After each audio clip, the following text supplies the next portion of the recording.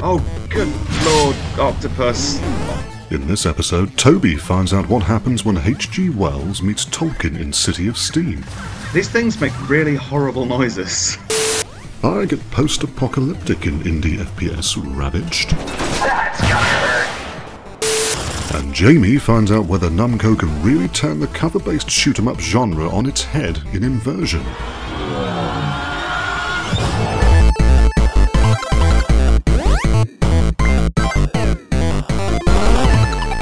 Welcome to Killer Bits! We are the new and improved what was once called Killscreen, um, which we're no longer. That's what happens when you get a cease and desist.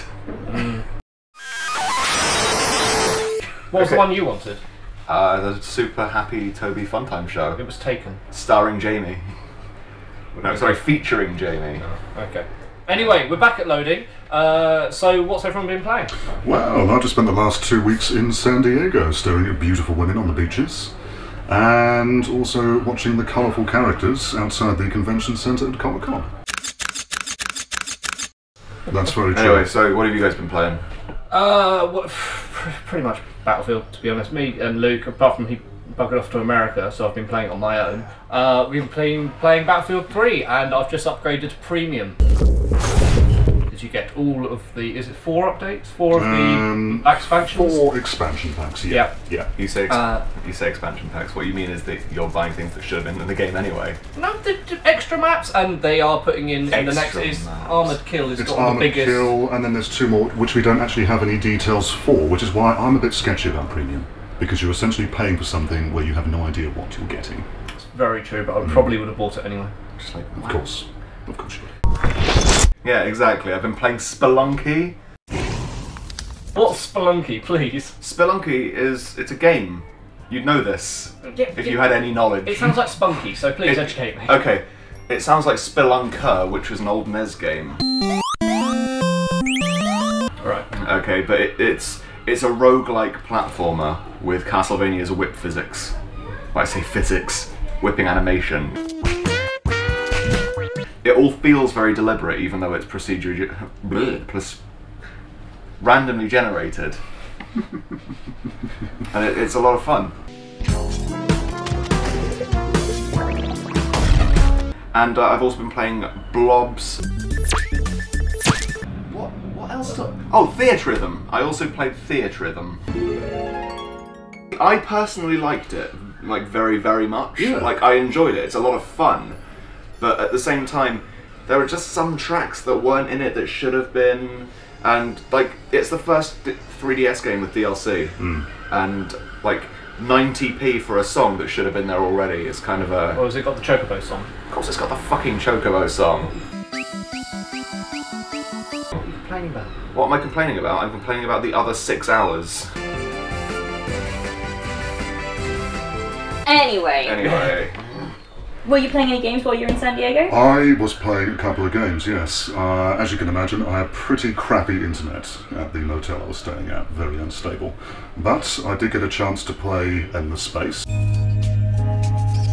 Which is basically, how can I put it, a SimCity in space with card battles as well.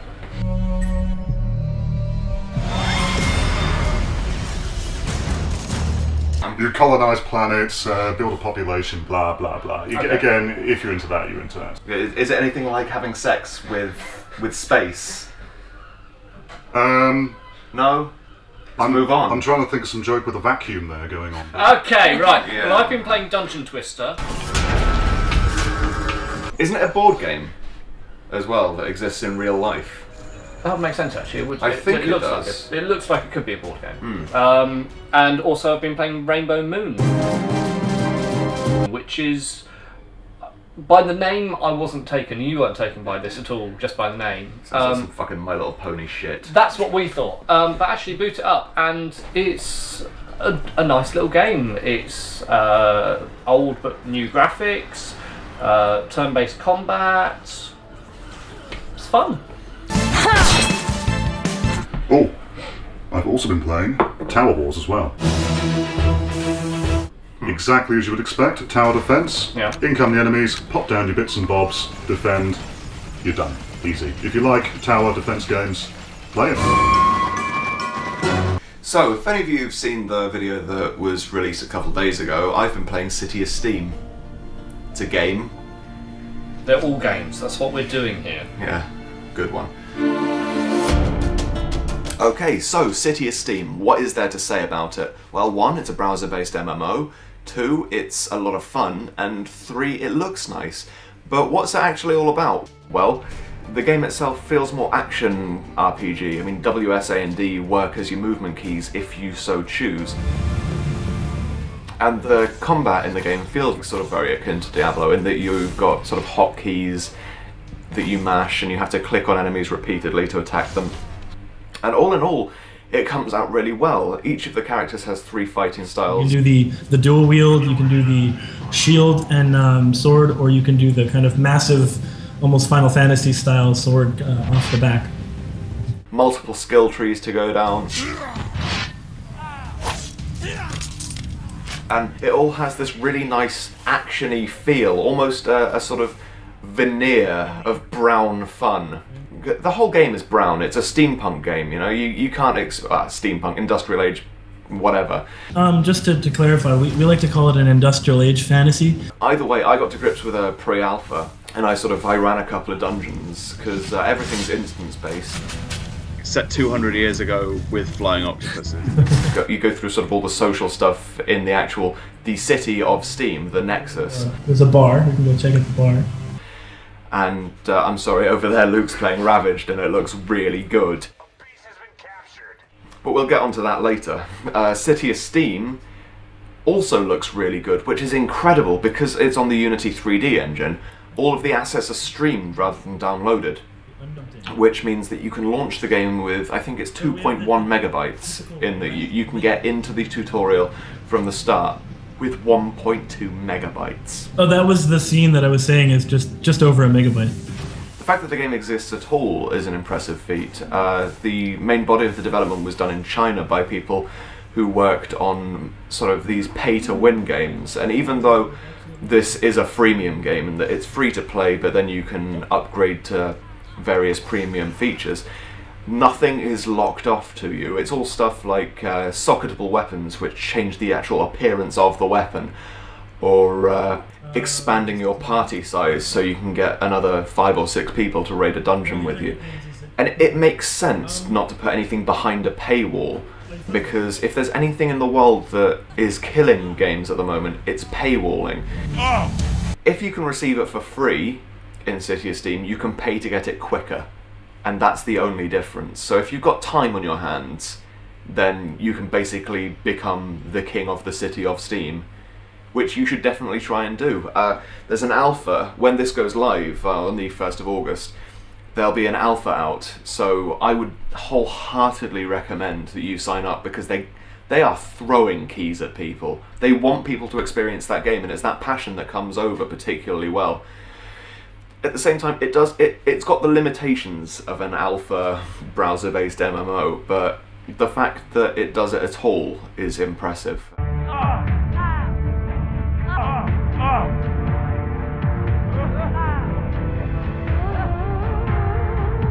And the graphics are really shiny, aren't they? Yeah, they're really shiny, especially when you consider it's all done in the Unity 3D uh, engine, which isn't something that an MMO's ever been tried in before. Everything's always been sort of Java based.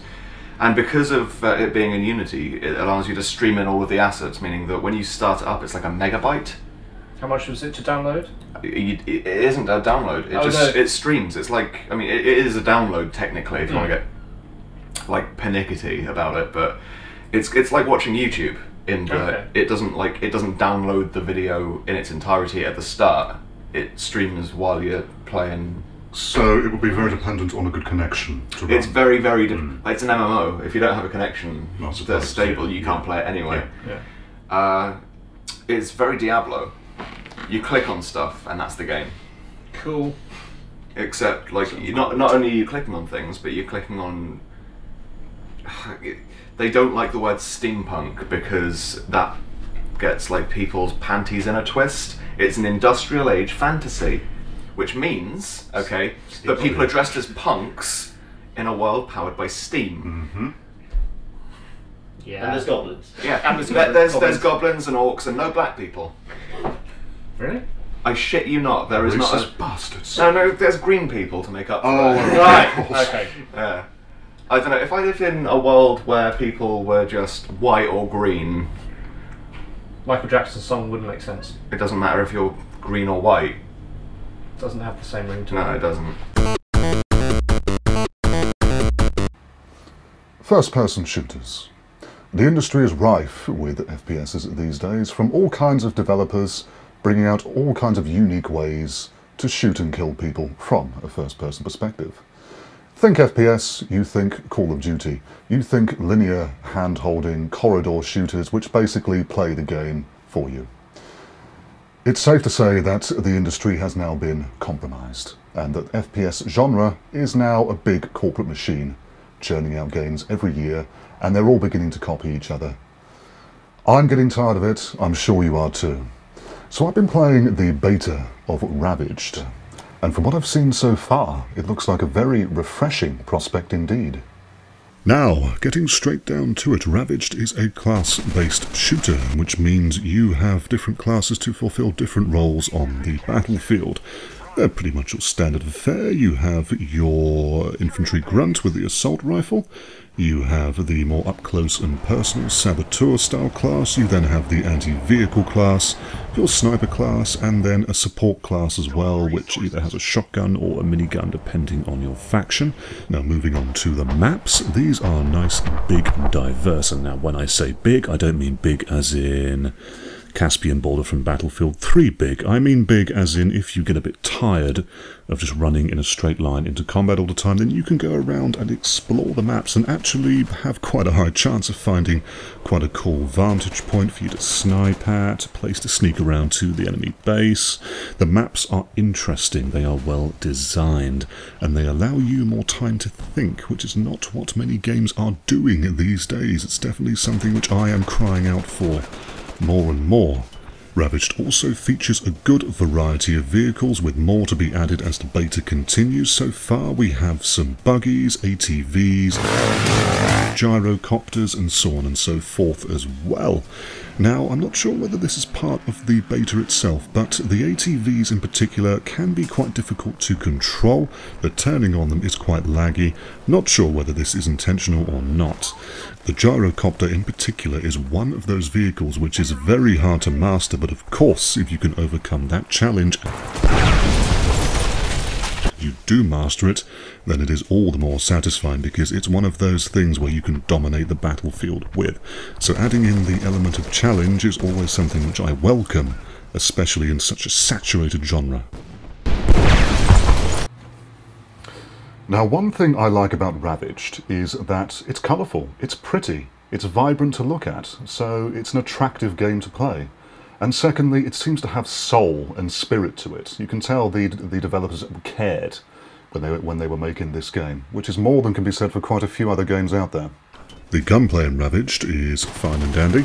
I do feel that the weapons can kill you a bit too quick, especially particular ones in the assault rifle class. But of course, that's something which can be changed. Now, it's worth noting too that Ravaged is a multiplayer online only game, so there's no single player campaign, which means all the focus is going to the online experience, which I can only see as a good thing. Now, in my opinion, the game itself is very well balanced, it's fun to play, and it also seems to be geared towards more competitive gaming as well. One other thing to note is that this is a game that requires you to use your brain. You have a big open world out there with many options. You are not funneled down a straight line. You can take numerous vehicles and walk numerous paths. Go crazy, use your imagination, see what the maps and the worlds have to offer you. That's what they're there for. Now, being a beta, Ravaged does have its fair share of issues. For example, it will randomly crash for no reason, or you can't reload your gun, which is obviously quite detrimental to you. But all in all, the gameplay is very, very good. And considering how worn out of the genre I am, I actually have quite high hopes for Ravaged. I fucking see you over there. We got a hold of another camp. I, I, I'm really, I, I like the look of Ravaged. It is a really, it's a really good game. I mean, I've played the old school games for quite a while on PC now, and this really goes back to how it was before, which we've been missing. There's no Yeah. way in hell that Taz is going to play it. No. I was going to say there's a lot of Kickstarter. There's a lot of Kickstarter projects that are sort of like that. It's the things that people have been asking for, but studios have been like, nah. So, what is your big aversion to Kickstarter? Because obviously, a game like Ravaged has come from it, which you said looks like a good game. Yeah, I have no problem with Kickstarter in itself. The thing I have pro- uh, like a problem with are the idiots that give their money to things like the feminist frequency gaming thing, which is like it's women versus tropes in video games. a good point. I hate to break it to you. Okay, but game characters aren't people. They they they are characters. Okay, if you're gonna start complaining every time that like, oh no, that that woman's got big boobs. So what? Look, like Marcus Phoenix has arms the size of barrels. Hmm. Okay, there's just as much pr- like of a problem. I'm looking forward to the Ouya. Yes, me too, me too. I think the consoles are in dire need of updating. Okay, describe what Ouya is, because me and Taz had Yeah. no idea. Okay, Ouya is it's a hun it's an affordable How affordable? a hundred dollars. That's like Actually, 50, yeah. 50 Yeah. 60 quid for a console with a really nice looking gamepad that's only a concept, but the, the trailer lies to you a couple times. Uh, and you plug it into your TV, and you can play anything developed. Like any, it's an open console. You know, you don't need to get a dev kit for say PS3 or Wii. You can just be mm-hmm. like, okay, cool, I know things. Put them all together. And just keep going. Yeah, exactly. And you know, uh, you can. It's all going to be sort of plug and play, mm-hmm. and it's going to have a dashboard that looks a lot like Microsoft. So it's a cheaper alternative for someone who wants to have a go. It's a cheaper alternative for someone that wants to play indie games or develop indie games and get them onto a television rather than a monitor. Mm-hmm. Which they don't have to go through Yeah. the rigmarole of you know They- it- Xbox yeah, uh, they, they don't, signing off on they the don't have to fucking deal with Microsoft being like, no, you can't create your virgin killing based RPG. Okay, th- th- there's, it's all Which you're working on, right? Yeah, Yeah. well, yeah. It's it's Sure. very very it's very First Amendment. Mm-hmm. You know, it's sort of it, it opens up the industry to a whole new audience. You've been playing something that's not scripted. This is not scripted at all, we promise you. Like, what? You have been playing something. You need to tell us. I say, Fine, I'll just. Those eyes Ides of not on a March. You're never going to let me finish my sentence, No, are you? no, your sentence has been assassinated. Taz. You go. Don't worry. Go. I was going to ask you. You've been playing something that's not on a PC. oh, not on a PC. Yeah. No, I haven't. No, that's true. It's all been PC based because you're all losers. Well, you because you don't have it. You have a Mac. That's a Mac. Mac. Yeah, I do. Yeah. Um, no, I've been playing Inversion. Apparently, Isaac Newton was wrong about the whole apple falling downward thing. The world's moved on from that. Now we've got floating rubbish bins. No matter what kind of game you're playing, messing around with gravity is fun. Running through a post apocalyptic city, shooting muscle clad alien dudes to suddenly have gravity decide it doesn't want to do what it's supposed to, and hey presto, you're walking on the side of a building. Inversion is a third person cover based shooter, exactly like all the other ones we've seen in the past couple of years. Its only saving grace is that you can control gravity. You do this with the Gravlink, a device brought to Earth by the Lutadors. The Gravlink has the ability to increase or decrease the gravity around a targeted area. This is especially useful for making enemies float from their cover or pinning them to the floor while you proceed to empty clips into them.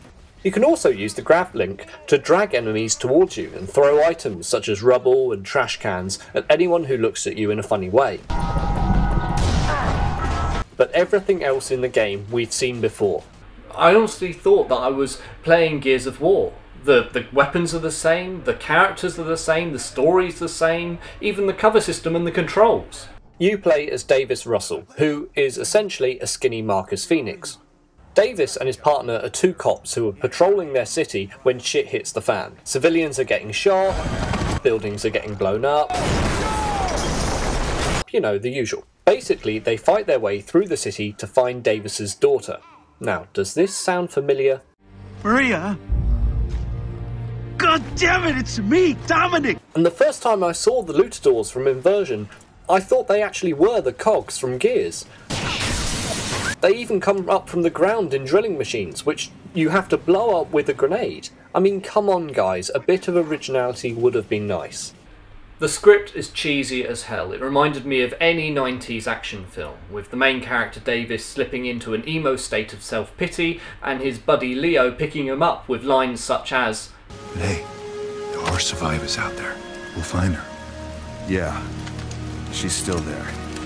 Moving on to the multiplayer, I got this game on PS3, and personally, I don't think that PlayStation gets as many players online as Xbox does. But even so, I tried playing a simple bit of deathmatch, and I found one person online. One. I even quit out and tried to find another match, and I found the same one person. Maybe this will pick up, and I hope it does, because this game deserves more. To keep it going, it does have a co op mode, which means you can go through the campaign with a friend with no differences to the story. I know I've been harping on about all the similarities to Gears of War, but then again, the developers have taken a format that works and just added bits to make it their own. Despite its faults, Inversion is a good game. It's challenging, or mildly challenging, and it will keep you entertained for a good couple of evenings. Uh, I'd probably leave it a while to, to drop in price or rent it uh, over the weekend because that's pretty much all you're going to play it through. But I'm intrigued to see how other games in the future will take gravity physics and see where they take them.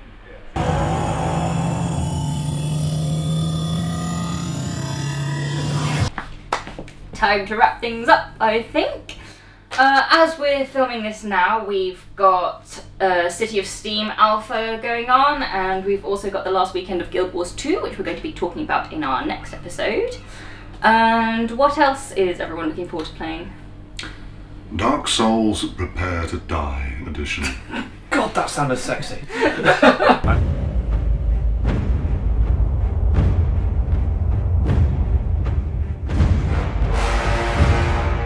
like to point out that you're a casual. I'm a casual. Have you ever completed Dark Souls? No. Then your vagina will be salty with the Prepare to Die edition. Well, it's going to have higher frame rates, prettier graphics, and it is a good game. Yeah, but that doesn't mean that you won't be salty in the vagina. okay, you, you're just gonna be like, hey, hey, cool, what's going on? Oh, that's that's gonna be you. That's exactly me. Yeah. exactly me. It's, yeah, it's Anyhow.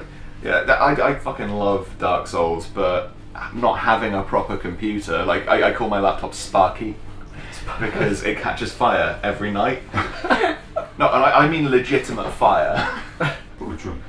No, it is true. I, I never say anything on kill screen that killer bits. Oh, That's- sorry. I, I had to cease and desist that sentence. Okay. Uh, the But things we I'm- have got replacements for Sparky now, haven't we? yeah. Yes. Yeah, we do. The the Alienware. What is that? Thank you Yeah. What, Thank you, Dal. so much. thank you. What what is that? Who gives us things? Kind people who pity us. Yeah, it is really pity. God bless, give them that. yeah. Anyway, what are you looking forward to? Ah, I'm looking forward to Watch Dogs. No. Watched. I am looking forward to. I am looking forward to No, I am On the looking forward to Watch Dogs as well. Okay. Okay. Have you seen the Watch Dogs trailer? No. Oh my god, do that.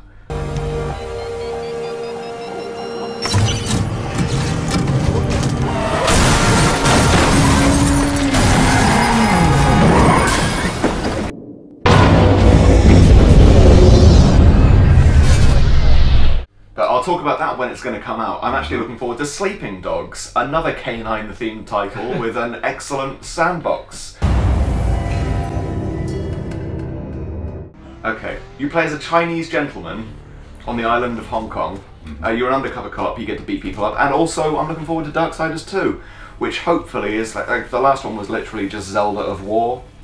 Zelda of War. Yeah, like it's just a cross between God of War and Zelda. That sounds good to me. Oh man, it's fucking. I, the smile that's was appearing on Jones's Yeah, face. uh, okay, okay, it's a great game, but it's really laboured. How do you mean? Uh, the, all the character design, it looks like World of Warcraft. Yeah, I know what you mean. Yeah, you, you play as War, who's got a sword, and that's it. That's Yeah. the game. That Then you, get, then you get a hook shot, and I was like, Like, it was like 2001: A Space Odyssey. I was just like, please tell me you guys have seen that at least. No? right. Uh, anyway, Moving Jamie, swiftly on. Jamie, go. Uh, I'm looking forward to Armored Kill from Battlefield.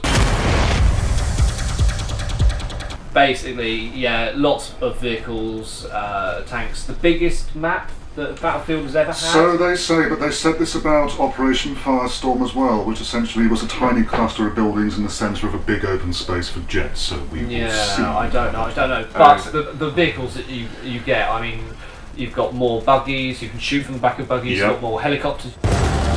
Yeah, I'm looking forward to it. It's going to be wicked. And if you haven't bought premium, buy it because then you get it for free. And that way EA will have all your money. Hmm. Uh, fucking EA. Anyway, what else do we have? we have on the day that we're going to actually be airing this, we've got Deadlight coming out. And that's on Xbox Live and looks alright. And we've also got the Minecraft 1.3 update. Can we please concentrate on the one that's a game? Minecraft is a game. It's an amazing game, and I'm No, looking forward to Minecraft is Lego for people that can't afford bricks. Deadlight is a side-scrolling film noir zombie game. Fuck you guys. That's what I'll be doing. Yeah, zombies in It's Minecraft. flashback with zombies. Yeah, exactly. Okay. Oh my god, it just looks so sexy. I, I, I really love it. That was the most disturbing face you've ever pulled out of all the uploads that Yeah. we've done. No, like it just it looks incredible. Okay, it, it does. It looks like flashback with zombies. Okay. And then Minecraft. "Hey, you're gonna put this block together." Brilliant. Pick up mud. That's the game. Pick up mud and punch trees. So don't forget to subscribe. Good job. Oh, and follow us at Twitter. At, yep, Facebook, etc. Yeah. Uh, we are At- at, the Killer Bits. Just go to the Killer Bit. We might even have a Bebo. Sure. Shall we sign off? I was going to say, well, either way, Yeah. we will have much more exciting content and entertainment for you. Yes. I'd like to point As we go out on. that Toby's tier list of social networking is plenty exciting. And we will get more professional as we go on, I'm sure. Promise. Especially with We promise. No, we're getting there. promise. We will. We will. We're in par with Minecraft's story mode at the moment. Story mode. Yeah, campaign. when Minecraft gets a story, we will be professional. When Might have to Minecraft wait gets a a story, I will eat my hat. oh, don't I have a hat? Is that what I was saying? Was I saying Minecraft will never get a... Bye, folks. Bye.